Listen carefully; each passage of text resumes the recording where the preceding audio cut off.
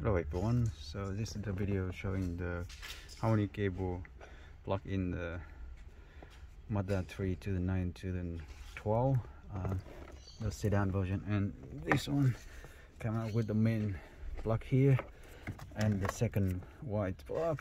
And also the last one is the radio plug. Okay so three of them for the Mazda 3 SP25 to the 9 to the 12 model.